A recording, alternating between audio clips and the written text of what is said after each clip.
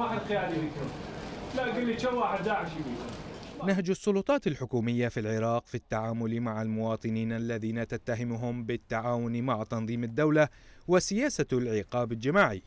العنوان العريض لدراسة نشرها موقع الأمن فقط التابع لكلية الحقوق بجامعة نيويورك. الدراسة بيّنت أنه في شهر كانون الثاني وحده من عام 2018 نقلت القوات الحكومية في العراق والميليشيات مئات العائلات من المشتبه بانتمائهم لتنظيم الدولة إلى معسكرات معزولة.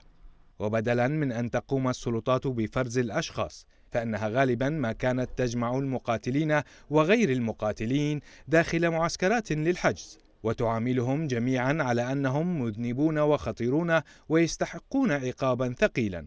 وأكدت الدراسة أن 19 ألف شخص معتقلون في العراق بذريعة انتمائهم أو علاقتهم بتنظيم الدولة. وأضافت الدراسة أنه في العراق كثيرا ما تفتقر محاكمات لأفراد يزعم أنهم مرتبطون بجماعات محظورة إلى الإجراءات الواجبة. وفي الكثير من الحالات يتعرض الأفراد للعقوبات التي تقع خارج نظام العدالة الرسمي ولا تلتزم بمعايير حقوق الإنسان.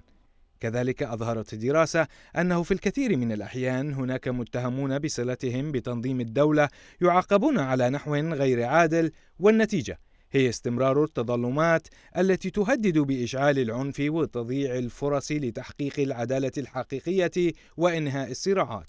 وختمت الدراسة بأن نتائج السياسات العنيفة تنذر بالسوء في جهود حل الصراعات ويمكن أن يؤدي تعاقب العقاب على نطاق واسع إلى تفاقم المظالم التي مكنت ظهور المجموعات التي توصف بالإرهابية.